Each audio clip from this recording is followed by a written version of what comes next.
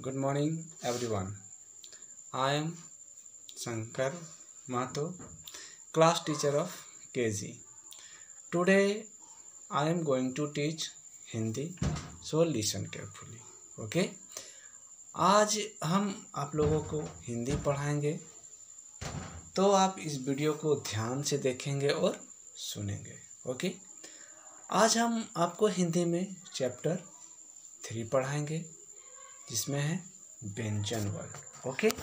तो व्यंजन वर्ण के बारे पढ़ाएँगे। तो व्यंजन वर्ण से आने वाले शब्दों के बारे जानना है। ओके? जैसे का।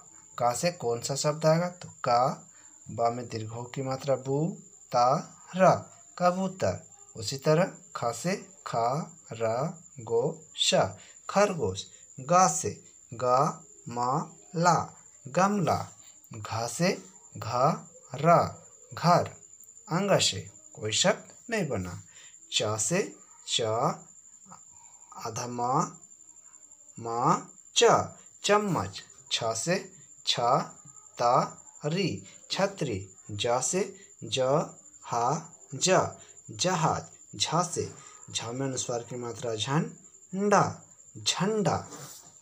यहाँ से कोई शब्द नहीं बना टा से टा, मा टा, मा, टम टम, ठा से ठा, ठे, रा ठठेरा डा से डा, मा, रू डमरू ढा से ढा आधा का का ना ढक्कन मधन से शब्द नहीं बना। ता से ता, रा, बा में दीर्घों की मात्रा, बू जा तरबूज था से था, ना। थन। दा से दा, वा, त। दवात। धा से धा ना में हर्षों की मात्रा नु मध्यन से। धनुष। ना से ना, ला। नाल।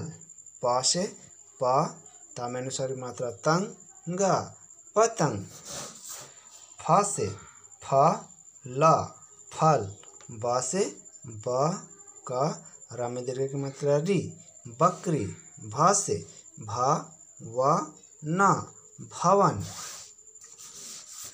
माँ से माँ, छा लामे दीर्घ ली, मछली या से या, गया, यज्ञ रा से रा, था, रथ ला से ला आधा टा टू लट्टू व से व सा में रेप की मात्रा शा वर्षा सा से सा, ला, गा, मा सलगम सा से मधन सा आधा टा, को, ना, षष्ठ कोण, सा से सा, रा, का, शा, सर्कस, हा से हा, ला, हल अच्छा से,